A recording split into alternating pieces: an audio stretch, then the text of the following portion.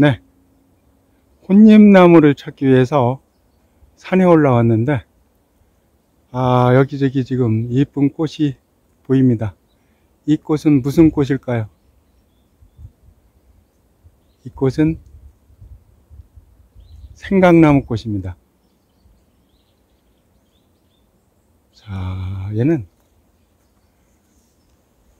꺾어서, 한번 꺾어서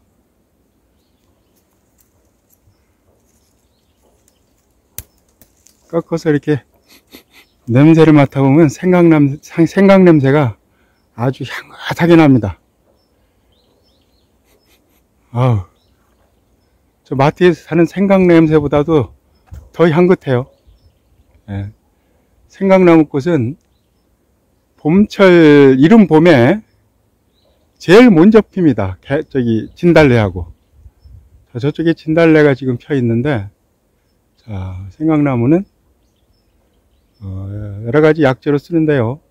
차로 마시면은 아 은은한 이 생강 냄새를 즐기실 수 있습니다. 저쪽에 보니까 진달래가 지금 한창이네요.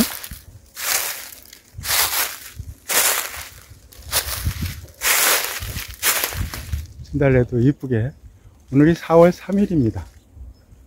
아 예쁘게 이렇게 진달래가 펴 있고요. 여기저기 생강나무, 생강나무 꽃이 펴 있습니다. 생강나무 꽃하고 진달래 꽃은 거의 비슷한 시기에 이렇게 이쁘게 핍니다. 예. 자, 저는 혼잎나무를 찾기 위해서 회잎나무하고 화살나무를 찾으러 올라갑니다. 네, 오늘이 4월 3일인데요. 자, 산에는 소나무 외에는 푸른빛을 띠는 나무가 거의 없습니다. 아직 새싹이 올라오지 않았다는 얘기죠. 그런데 유독 회임나무하고 화살나무는 이른 봄에, 아주 이른 봄에 새싹이 올라옵니다. 자, 이렇게 새파랗게 올라와 있죠? 얘네들이 바로 혼잎나물입니다. 혼잎나물. 자, 보세요. 아무리 부지런한 며느리, 며느리들도 1년에 두 번 채취가 어렵다는 그만큼 부지런해야지 채취할 수 있다는 혼잎나물입니다. 자, 나물 중에서 아, 나무 순에서 채취하는 나물 중 아, 베스트 3죠. 달래순나무 순, 그 다음에 고추나무 순, 그 다음에 화살나무 순. 회임나무도 마찬가지고요. 회임나무라고, 회임나무하고 화살나무를 합쳐서, 아, 그 나무에서 뜯은 이 나무를 혼잎나물이라고 합니다. 자, 여기 군락지를 찾았는데요. 엄청나게 많죠. 요게 바로 지금 채취하셔서 드시면 그렇게 맛있다는 아주 부들부들합니다. 근데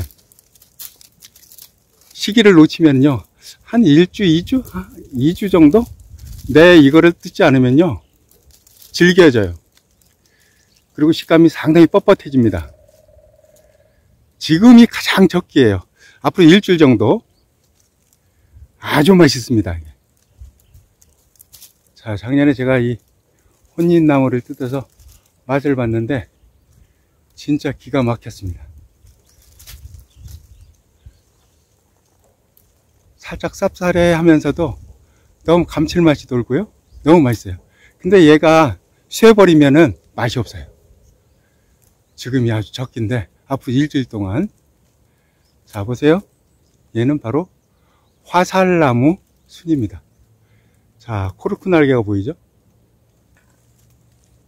얘는 이렇게 보면은 비닐턱이 자 감싸면서 입이 올라가죠. 비닐턱이 감싼 여기 감싸고 있죠. 이 비닐턱입니다. 여기 얘가 바로 화살나무 기가 막힙니다.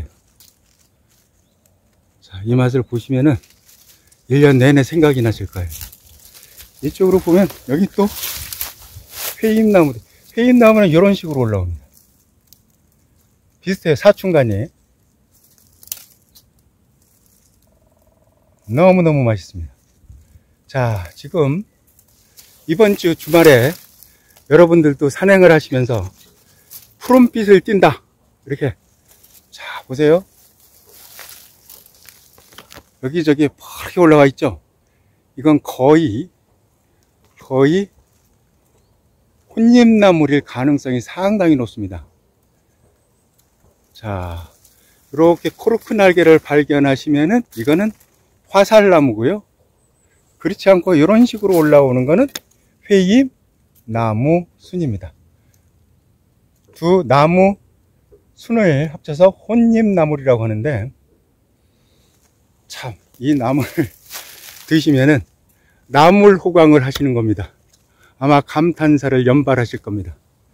자, 이번 주 4월 중순이 넘어가기 전에 자, 산에 낚아셔서 한번 찾아보시기 바랍니다. 여기저기 많이 올라오고 있습니다. 자, 어떤 산에 맞냐? 제가 정확하게 가르쳐 드릴 수는 없고, 수 뭐뭐 산에 많다고 합니다. 아, 이 산에도 상당히 많이 있네요.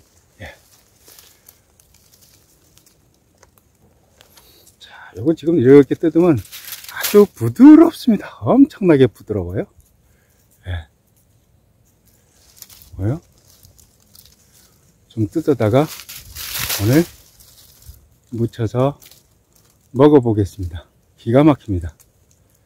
네, 혼잎나물 비었습니다. 이상입니다.